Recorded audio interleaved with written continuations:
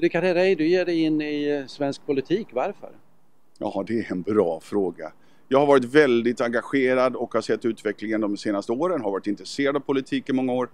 Men jag känner att det är dags för mig att försöka vara med och påverka på ett bra sätt. Varför Moderaterna? Moderaterna har varit ett väldigt naturligt parti för mig att eh, gå med i. Eh, jag har alltid stöttat Moderaterna på ett eller annat sätt. Redan eh, som tonåring så hade jag ett rösta med Gösta-knapp på, på tröjan så att det var ganska naturligt. Vad tror du att du kan bidra med?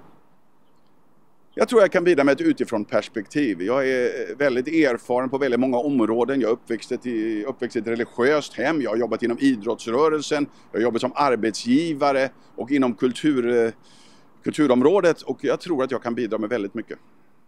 De uppdragen du har idag, är du tvungen att lämna dem? Det vet jag faktiskt inte. Jag vet inte riktigt vad det här kommer innebära. Det är ett stort steg naturligtvis att kliva in och försöka eh, ta mig in i riksdagen. Det beror ju på hur väljarna eh, bestämmer naturligtvis men eh, vad det kommer innebära för mig privat det är jag inte helt säker på. Det är val nästa år i Sverige. Vad tror du kommer hända? Ja, det är väldigt spännande och det är en väldigt viktig fråga naturligtvis för, för Sverige. Jag tror att man står inför ett ödesval 2018 och det är viktigt att man tänker efter som väljare vad man egentligen vill ha för typ av regering efter valet och lägger sin röst därefter. Vad är den viktigaste frågan nu i svensk politik? det är egentligen ordet trygghet.